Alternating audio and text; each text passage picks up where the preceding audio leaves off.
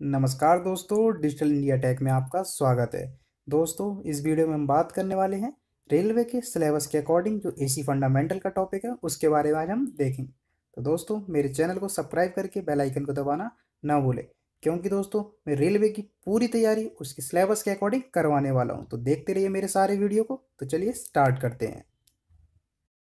देखेंगे सबसे पहले दोस्तों, प्रत्यावर्ती धारा, इसी को कहते हैं अल्टरनेटिंग करंट वह धारा जो किसी वैद्युत परिपथ में अपनी दिशा बदलती रहती है। मतलब अल्टरनेटिंग करंट क्या है? ये अपनी डायरेक्शन चेंज करती रहती है, दिशा बदलती रहती है। कैसे? देखते हैं। प्रत्यावर्ती धारा एसी का जो मैग्नीट्यूड है, यानी कि परिमाण है, समय के साथ चेंज होता रहता है और वह शून्य पर पहुंचकर विपरीत चिन्ह पॉजिटिव से नेगेटिव या नेगेटिव से पॉजिटिव भी हो जाता है। दोस्तों, ये साइन वेव आपके सामने दिख रही है। साइन वेव क्या होती है? एसी करंट ये पूरी साइन वेव है। ठीक है दोस्तों, अब ये क्या है? पॉजिटिव हाफ़ साइकिल ये है नेगेटिव हाई साइकिल जैसे जैसे दोस्तों उसका टाइम बढ़ रहा है टाइम के साथ एसी करंट भी बढ़ती जा रही है। यानी कि इसका जो मैग्नीट्यूड भी है, वो भी चेंज होता जा रहा है। पहले यहाँ से ज़ीरो था, यहाँ से बढ़ा, यहाँ मैक्सिमम पॉइंट हो गया। उसके बाद वापस ज़ीरो आ गया। फिर ज़ीरो आने की कंडीशन में वापस पॉजिटिव से नेगेटिव हाफ़ साइकिल में पहुँच गया मैक्सिमम पर। फिर वापस क्या आ गया? ज़ीरो अब क्या होगा? वापस से यह अपनी पॉजिटिव हाफ़ साइकिल में जाएगा मैक्सिमम पर, फिर आएगा नीचे, नेगेटिव हाफ़ साइकिल में मैक्सिमम पर। तो मीन्स टाइम के साथ जो इसकी जो साइकिल है वह चेंज हो रही है। तो इसी को कहते हैं अल्टरनेटिंग करंट मीन्स टाइम के साथ इसकी दिशा बदल रही है। ठीक है दोस्तों, अब बात करेंगे हम डायरेक्ट करंट के बारे में। देखेंगे दोस्तों डायरेक्ट करंट यानी कि डीसी करंट जो डीसी करंट का मान तथा दिशा है, वह नियत रहते हैं, ठीक है? समय कितना भी चेंज होता रहे, जो इसकी करंट है, वो हमेशा कैसी होगी? कांस्टेंट इसलिए इसको कहते हैं डायरेक्ट करंट डीसी करंट दोस्तों, हम लोग सबसे ज़्यादा एसी करंट का यूज़ करते हैं, क्योंकि दोस्तों, जो एसी करंट है, इसका जनरेशन करना आसान है। और दोस्तों, इसे ट्रांसफार्मर की सहायता से हम लेवल इसका बढ़ा भी सकते हैं, कम भी कर सकते हैं, जबकि डीसी करंट में ऐसा नहीं होता है दोस्तों। और दोस्तों, एक सबसे इम्पोर्टेंट बात ये भी है, जो एसी करंट है, जो इसका जनरेशन है ना एसी करंट का जनरेशन है, वो तैतीस हज़ार वोल्ट तक कर सकते हैं, जबकि जो डीसी करंट है, इसका जो जनरेशन है, केवल 650 वोल्ट तक ही किया जा सकता है दोस्तों। तो ये एक सबसे इंपॉर्टेंट बात है दोस्तों, इसलिए हम सबसे ज़्यादा यूज़ किसका करते हैं एसी करंट का। अब बात की जाए दोस्तों कि अगर जो समान वोल्टेज एसी का है और डीसी का है तो इन दोनों में हार्मफुल क्या है, हानिकारक क्या है? तो दोस्तों, अगर दोनों का वोल्टेज समान है तो आपके लिए जो डीसी करंट है, ये आपके लिए बहुत ही हानिकारक होती है, क्योंकि क्योंकि जो इसका मान है, वो समय के साथ कॉन्स्टेंट होता है। ठीक है दोस्तों? जबकि एसी में क्या होता है? समय के साथ चेंज होता रहता है। मतलब एक ऐसी कंडीशंस भी आती है, जब इसकी वैल्यू ज़ीरो होती है। अब देखेंगे हम आवृत्ति मीन्स फ्रिक्वेंसी प्रति सेकंड चक्रों की संख्या क्या कहलाती है हमारी? फ्रिक्वेंसी, है आवृत्ति। मींस एक सेकंड में कितने साइकिल पूरी हो रही हैं उसको हम क्या बोलते हैं? फ्रिक्वेंसी। इसे एफ़ से डिनोट किया जाता है इसका मात्रक चक्र प्रति सेकंड या हर्ट्स होता है। ठीक है दोस्तों? अब नेक्स्ट है आवर्तकाल या टाइम पीरियड एक फुल साइकिल पूरा करने में लगने वाला समय क्या कहलाता है हमारा? टाइम पीरियड मतलब एक साइकिल साइकिल क्या होती है? ये साइन वेव है। ये साइकिल, एक साइकिल पूरा करने में जितना समय लग रहा है, उसको हम कहते हैं क्या? टाइम पीरियड ठीक है? इसे टी से रिप्रेजेंट किया जाता है और टी बराबर क्या होता है? वन अपॉन एफ़ इसका मात्रा क्या होता है? सेकंड ठीक है? अब देखते हैं हम इंस्टेंटेनियस वैल्यू इसी को बोलते हैं हम तात्कालिक मान. किसी निश्चित समय पर प्रत्यावर्ती धारा या वोल्टेज का इंस्टेंटेनियस वैल्यू कहलाती है। बीस, किसी निश्चित टाइम पर प्रत्यावर्ती धारा या वोल्टेज का जो मान है या वैल्यू है, उसी को कहते हैं इंस्टेंटेनियस वैल्यू ठीक है दोस्तों, अब नेक्स्ट है एवरेज वैल्यू एवरेज वैल्यू क्या होती है? एक हाफ़ साइकिल के सभी इंस्टेंटेनियस वैल्यू का जो एवरेज होता है, उसको कहते हैं एवरेज वैल्यू अब इसमें बात करते हैं एक हाफ़ साइकिल क्यों क्यों लिया? क्योंकि दोस्तों ये फुल साइकिल है। जब हम एवरेज वैल्यू की बात करेंगे तो ये हो गया प्लस हाफ़ साइकिल ये हो गया नेगेटिव हाफ़ साइकिल जब हम एवरेज निकालेंगे तो प्लस माइनस क्या हो जाएगा? ज़ीरो फुल साइकिल के लिए जो एवरेज वैल्यू निकलेगी वो कितनी होगी? ज़ीरो इसलिए हम जो फाइंड आउट करते हैं वो क्या होती है? एक हाफ़ साइकिल के लिए.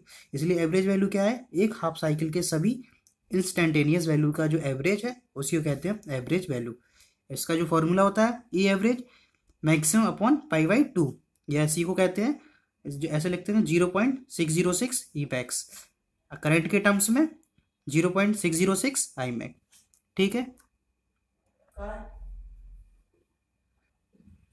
अब देखेंगे R M S value. R M S value means root mean square value इसी को कहते हैं प्रभावी मान means effective value real value measuring value या वर्चुअल वैल्यू इन सभी है, इन्हीं को कहते हैं आर एम एस वैल्यू इन सबके ये अदर नेम है।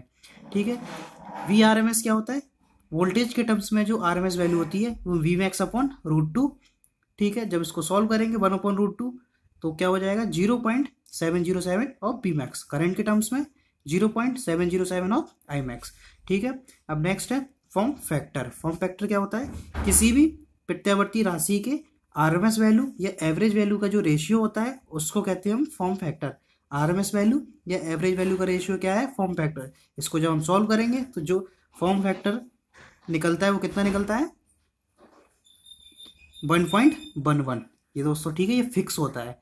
इसे हम के एफ़ से डिनोट करते हैं। अब देखेंगे पीक फैक्टर पीक फैक्टर क्या होता है? Maximum value upon race R M S value का जो रेशियो होता है, उसको क्या कहते हैं हम पीक फैक्टर पीक फैक्टर क्या है? Maximum value of R M S value and sorry maximum value और आर एम एस वैल्यू का क्या है? रेशियो उसको कहते हैं हम peak factor maximum value R M S value जो इसका सॉल्व होकर निकलता है वन पॉइंट फोर वन कैसे? मैक्सिमम वैल्यू कुछ भी ले लिया। वोल्टेज का टर्म में V max R M S के टर्म में आर एम एक्स क्या होता है?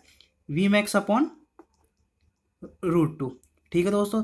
तो जो बी मैक्स से V max cancel root two ऊपर पहुँच गया और रूट टू की जो वैल्यू होती है क्या? One point four one four इसलिए जो पीक फैक्टर निकलता है वो क्या होता है? One point four one four ठीक है? अब नेक्स्ट है, बात करेंगे हम single phase and three phase supply के बारे में।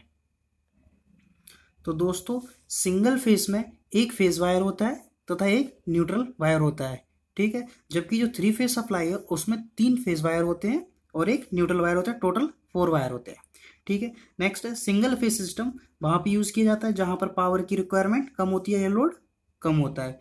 जैसे कि घरों में बिजली वगैरह, बिजली के पंखे मोटर्स वगैरह वहाँ पर सिंगल फ़ेज़ सप्लाई यूज़ करते हैं। और थ्री फ़ेज़ सिस्टम कहाँ पर यूज़ किया जाता है? इंडस्ट्रीज़ में फैक्ट्रीज़ में और जहाँ ज़्यादा पावर की रिक्वायरमेंट होती है। ठीक है दोस्तों नेक्स्ट है सिंगल फेस सप्लाई का जो यूज़ होता है, वो 230 वोल्ट तक होता है, जबकि थ्री फेस सप्लाई है, उसका यूज़ होता है 615 वोल्ट तक। ठीक है दोस्तों नेक्स्ट है थ्री फेस सप्लाई में तीनों फेस है, जो 120 के एंगल पर होते हैं। जो तीन फेस होते हैं R Y B R Y B होते हैं, तीनों कैसे होते हैं? 120 के फेस पर। ठीक है, ये ये होता है 120 का एंगल तीनों के बीच में। ठीक है नेक्स्ट है थ्री फेस सप्लाई को या सिस्टम को कम लोड पर सिंगल फेस की तरह भी हम यूज़ कर सकते हैं। जब लोड कम हो तो हम थ्री फेस सप्लाई को सिंगल फेस की तरह यूज़ कर सकते हैं। उसके बाद नेक्स्ट है थ्री फेस सप्लाई कंटिन्यूस होती है और कभी भी पूरी तरीके से ज़ीरो पर नहीं आती। देखते हैं सिंगल फेस सप्लाई में दोस्तों ये साइन वेव होती है साइन वेव कुछ टाइम पर ये ज़ीरो पर आ जाती है। लेकिन थ्री फ़ेज़ सप्लाई की जो वेव होती है, इस फॉर्म में, इस फॉर्म में और इस फॉर्म में। तो मींस जब हमारी ये साइकिल फुल साइकिल ज़ीरो हो रही है तो उस टाइम पे हमारा कोई नहीं को, कोई ना कोई दूसरी जो फ़ेज़ है वो अवेलेबल होता है। इसलिए थ्री फ़ेज़ सप्लाई कंटिन्यूस होती है और कभी भी ये पूरी तरीके से ज़ीरो पर नहीं आती।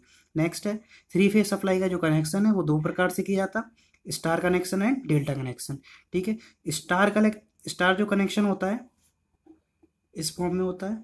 इसमें तीन फ़ेज़ वायर और एक न्यूट्रल वायर होता है। टोटल चार वायर होते हैं ठीक है दोस्तों? टोटल होते हैं चार वायर और जो डेल्टा कनेक्शन है डेल्टा कनेक्शन,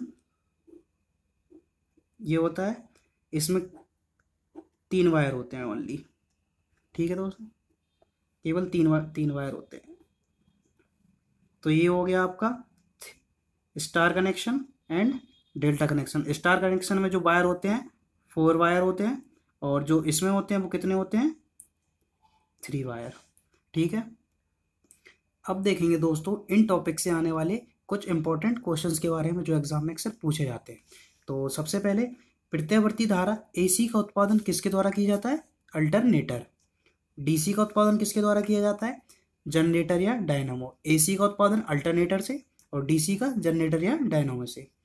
नेक्स्ट है एसी को डीसी में चेंज करने के लिए कौन सी डिवाइस यूज़ करते हैं? तो उसको बोलते हैं हम रेक्टिफायर और डीसी को एसी में चेंज करने के लिए कौन सी डिवाइस है? तो वो होती है, उसको बोलते हैं इन्वर्टर नेक्स्ट है, भारत और अमेरिका में एसी की जो फ्रिक्वेंसी होती है वो कितनी होती है? जो इंडिया में यूज़ होती है, वो होती है फिफ्टी हर्ट्स और जो अमेरिका में यूज़ होती है, वो सिक्सटी हर्ट तो कितनी है? भारत में इंडिया में पचास हर्ट्स अमेरिका में सिक्सटी हर्ट्स नेक्स्ट है एसी को किसके द्वारा घटाया, बढ़ाया जा सकता है? तो एसी को किसके द्वारा? ट्रांसफार्मर की सहायता से. नेक्स्ट है वोल्टेज व करंट के बीच का जो एंगल है, उसको क्या कहते हैं? उसको कहते हैं हम पावर फैक्टर ठीक है? अब नेक्स्ट है नेक्स्ट है, एक फुल साइन वेव के जो एवरेज वैल्यू रहती है, वो कितनी होती है? ज़ीरो एक जो फुल साइन वेव है, दोस्तों, अभी हाल ही बताया है कि जो एक फुल साइन वेव होगी, जो उसकी एवरेज वैल्यू होगी, वो हमेशा ज़ीरो होती है। क्योंकि प्लस माइनस उनके एवरेज को क्या कर देता है? ज़ीरो एक प्लस पॉजिटिव हाफ़ साइकिल और नेगेटिव हाफ़ साइकिल उनका जो एवरेज निकलेगा, वो क्या निकलेगा? ज़ीरो नेक्स्ट है, एक फॉर्म फैक्टर फॉर्म फैक्टर कितना होता है? One point one one peak factor one point four one four और लास्ट है, दोस्तों थ्री फ़ेज़ सप्लाई के जो तीनों वायर होते हैं, कितने एंगल पर होते हैं? तो वन ट्वेंटी तो दोस्तों, आज के लिए इतना ही। वीडियो अच्छी लगे तो प्लीज़ इसको लाइक कीजिए शेयर कीजिए और चैनल को सब्सक्राइब करना ना भूलें। धन्यवाद।